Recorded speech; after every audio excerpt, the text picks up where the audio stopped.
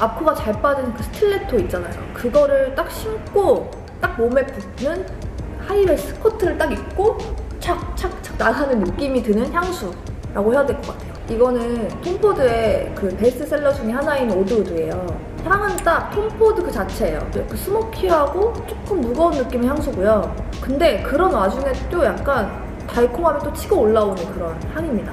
그 톰포드가 감독한 싱글맨이란 영화를 보시는 분들이 있는지 모르겠는데 그냥 갑자기 거기 내가 출연된 느낌인 거야. 이걸 뿌렸을 때. 이거 오랜만에 진짜 뿌리고 사람이 꽉 찬 엘리베이터를 탔다가 내 향에 내가 취할 뻔했잖아요. 그래서 약간 멀미 났어요, 사실. 이거는 여러 번을 뿌리지 말고 딱 한 번, 맥박에 뛰는 곳 한 번 정도만 뿌려주시면 좋을 것 같습니다. 메모 샴소드. 되게 추운 한 겨울인데 여기는 산속의 오두막 그런 별장인 거예요. 근데 거기에 장작불이 차작차작 하고 타고 있어.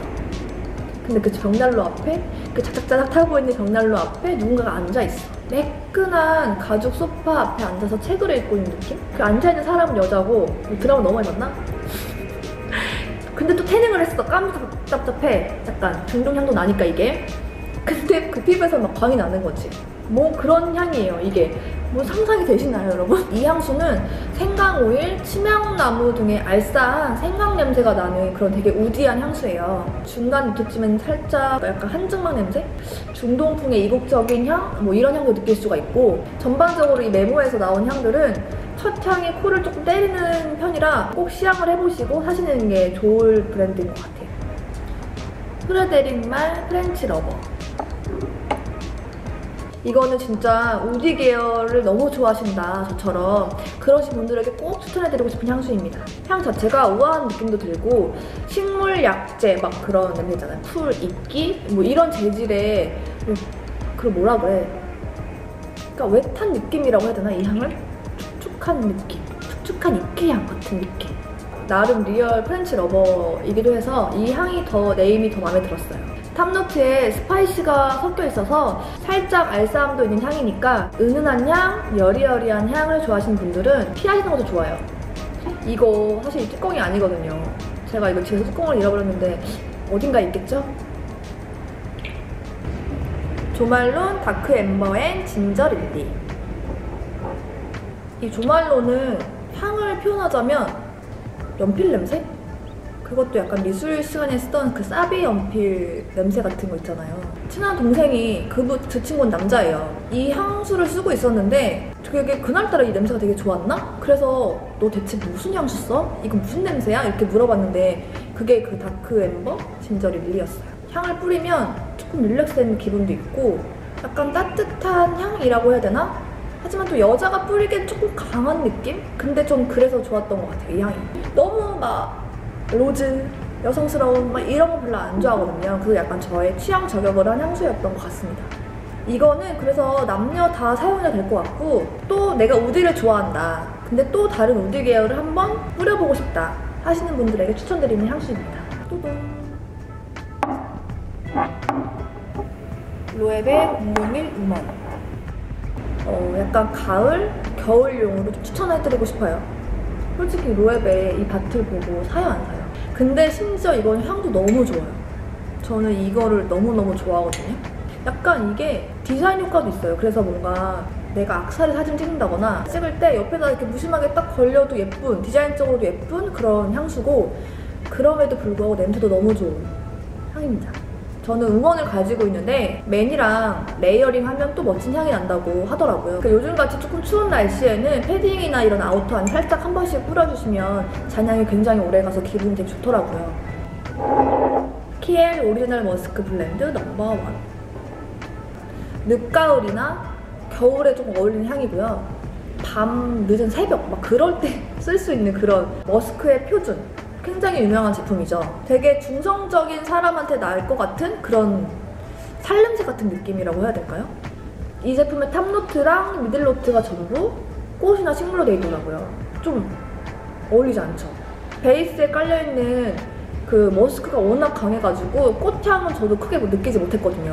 사실 워낙 향수들이 연령대가 어리신 분들이 쓰기에는 가격에 대한 진입 장벽이 조금 높은 편이잖아요. 근데 이 제품은 가격에 비해 향이 굉장히 고급스러워서 머스크의 입문용으로 추천해드리고 싶은 향수입니다.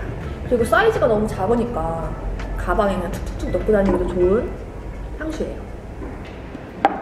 딥티크 Vetyverio 샤랄라한 꽃원피스 입고 한두 방울 뿌리면 약간 그런 풋풋하고 청순한 느낌? 저는 봄, 여름에 잘 맞는 것 같아요. 이거는 citrus한 top note로 시작해서 따스한 머스크 향이 자연스럽게 이렇게 연결돼서 이어지는 향이에요. 자몽이랑 장미랑 섞였는데 머스크로 조금 잘 융화시켜준 느낌이라고 해야 되나? 저는 점심에 그 찌개나 생선구이 같은 거 먹고 약간 몸에 배잖아요. 머리나 이렇게 옷에. 그럴 때 이걸 쓱 뿌려주면 냄새가 티나지 않게 딱 잡히더라고요. refresh 하고 싶은 순간에 그냥 칙 이렇게 뿌려주면 좋은 향수입니다. 샤넬 넘버 5. 이건 잔향이 진짜 좋은데 진짜 이걸 뿌리고 나가면 연예인들이 그렇게 물어봤어. 향수가 뭐냐고. 딱 섹시한 여성? 근데 이게 또 톰포드의 섹시함이랑 좀 다른 것 같아요. 여성분들이라면 화장대에 꼭 하나쯤은 이렇게 쓰지 않아도 있어야 될 것 같은 딱 뿌렸을 때는 되게 묵직한 느낌인데 이거는 조금 잔향이 은은하게 하루 종일 가는 느낌이어서 조금 굉장히 특별한 날? 뭐 이럴 때 제가 뿌리는 향수거든요. floral 하면서도 약간 powdery한 느낌의 향이 나서 느끼한 걸 싫어하시는 분들은 처음엔 조금 싫어하실 수도 있어요. 왜냐하면 첫 향이 되게 묵직하기 때문에 하지만 시간이 지날수록 그 잔향의 powdery한 향이 그 내 온몸을 감싸고 있을 때 느껴지는 그 느낌이 너무 좋거든요 아쿠아 디 파르마 이거는 약간 빳빳한 셔츠, 린넨 셔츠를 딱 입고 어디 약간 휴양지 갈 것 같은 그런 냄새? 괜찮나요 표현이? 빨간 모자를 쓰고 하얀 얼굴에 그런 약간 여리여리한 소녀가 빨래할 것 같은 그런 냄새라고 해야 되나?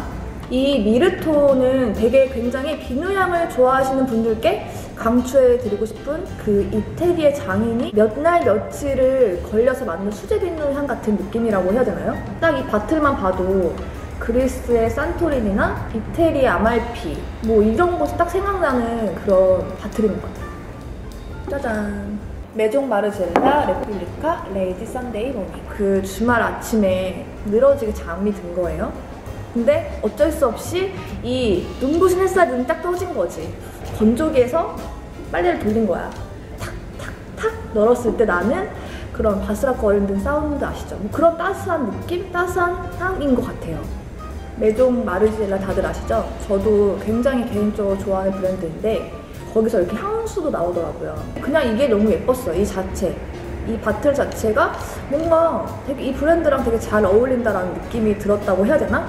그냥 이거는 향보다는 아, 향도 유명하긴 한데 개인적으로는 이 향수 디자인 디테일이 약간 그 마르젤라 시그니처의 그 스티치가 들어가도 예뻤을 것 같긴 한데 아닌가? 하여튼 여성스러운 것 같기도 하다가 남성스러운 것 같기도 하다가 딱 그냥 중성이라고 생각하면 될 것 같아요. 이름처럼 딱 주말 아침에 침실 느낌이라고 표현하고 싶네요. 르라보 Another 13 연한 baby blue 니트 의 blue 컬러감이 생각나는 그런 향이에요.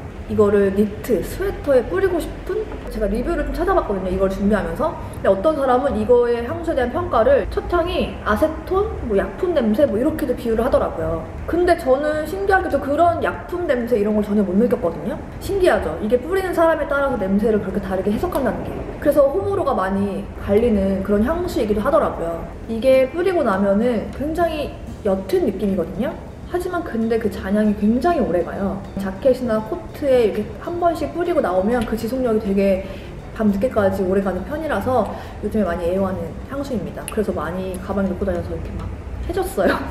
여기 보면 저도 자기에 강해가지고 뷰티 엄 스마일 이렇게 박았거든요. 어 레본바이어 오 디파네마 파리 쇼핑번에서 보여드렸던 저의 최애 향수입니다. 이름도 좀 어렵죠? 이 향은 진짜 묘해요. 그러니까 단어로 설명하기 되게 어려운? 어려워. 이거 진짜 어려워. 이거는 뿌려 보면 진짜 다른데. 여성스러운 향을 별로 안 좋아한다고 했잖아요. 근데 되게 신기한 게 이걸 찾아보니까 top에 망고, 파인애플, red berry, 베르가못, 뭐 pink pepper가 들어가고 middle에 프리지아, 자스민 그리고 물이 있어 물. 여기에 베이스가 휘핑크림, 바닐라, 머스크가 깔린 거지. 제가 정말 좋아하지 않는 뭔가 과일과 이런 게 막 섞여 있는 향수인데 왜 전 이게 좋죠? 좋아. 모르겠어 그 이유를. 마냥 상큼한 향이 아니라 고급스럽게 그리고 이게 머리가 안 아프게 하는 잔향이 딱 깔리면서 마무리되는 그런 향수입니다. 흔하지 않은. 그래서 꼭꼭꼭 추천해드리고 싶어요. 바이레도 인플로레센스 꽃집 저 양재동 꽃시장 많이 가니까 그 거기 딱 들어섰을 때 나는 그런 향 같은 냄새라고 해야 되나? 꽃이 엄청 많은 곳에 딱 섰을 때 나는 냄새 막 제가 싫어하는 그런 여리여리한 그런 꽃향이랑은 조금 다른 것 같아요 굉장히 이걸 뿌리면 굉장히 굉장히 너무 프레쉬해 그리고 막 산뜻하고 막 그런 느낌이 드는 향수거든요. 처음에 그 파리 북막시의 바이레도 매장에서 구매를 했거든요. 저는 이거를 직원분한테 제가 그막 번역기 돌려가지고 저한테 어울릴 만한 향수를 추천해 주세요 라고 했는데 추천해 주신 향이 이거예요. 나머지 하나는 언네임드였어요. 저는 이제 이거 인플로레센스를 구입을 했고 그래서 더 특별하고 좋았던 그런 향입니다. 근데 이게 지속력이 막 강하거나 그렇진 않은데 좋았던 게 질리지 않고 머리가 아프지 않아서 계속 사게 되는 그런 향수입니다.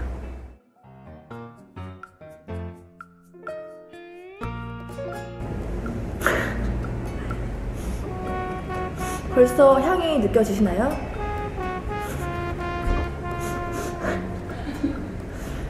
벌써 향이 느껴지시나요?